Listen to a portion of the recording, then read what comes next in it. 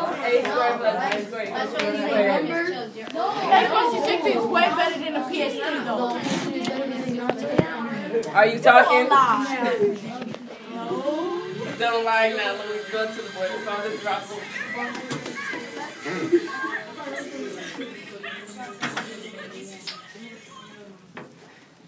Why it always get quiet?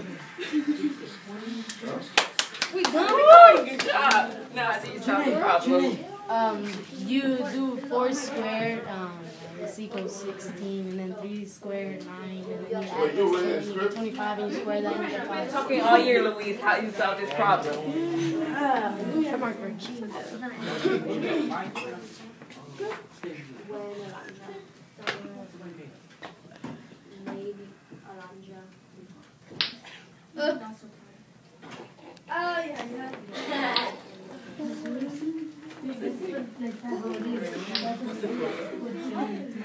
You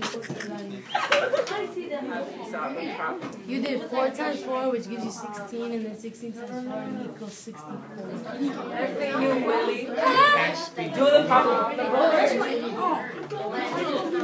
Okay, so look, if it's negative out on the vertical bars, these numbers are right here, then it's gonna be a negative number, so negative twelve should be the answer. Now it's time for box and whisker.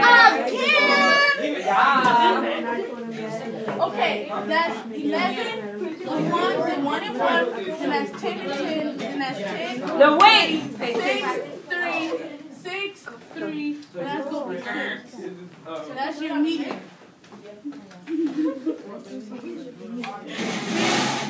That's one and one, then that's three and three, then one plus three equals four. Divided by two is two, so it's gonna be two and that's gonna be.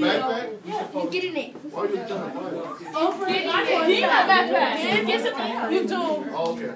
six, six, then ten, ten, then that's ten plus ten is twenty. Divided by two is ten. So answer is gonna be ten, and that's your upper quartile. I mean, this one gonna be your lower quartile. Then this is your maximum, Sorry. Tell somebody to blow your eye. and that's oh. your minimum. Ah. Not it. Then you have to set That's what I said. Not it. line. So one, two, three, four, five, six, seven, eight, eleven, and that's twelve. So the minimum is one, so one will be right there. Then the lower quartile is three, so the line will be right here three. Then your median is six, so you have to go all the way to the six. And that's your median right there. Then your upper quartile is ten, so you have to go all the way over there. And that's ten. Then that's eleven is your maximum, and that is your Good job. Uh, orders of uh, uh, example of order operation equals exponent, I mean parentheses, exponents, multiplication, division, addition, subtraction. But you supposed to do the first first, so you supposed to five plus eight. The take away eight. And that equals seventy-two. What was the hardest thing in the project? Four. Oops.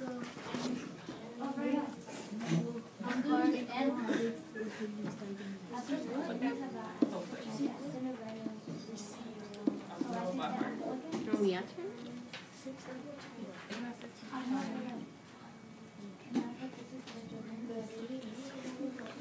It's not sixty-four, it's sixty-eight.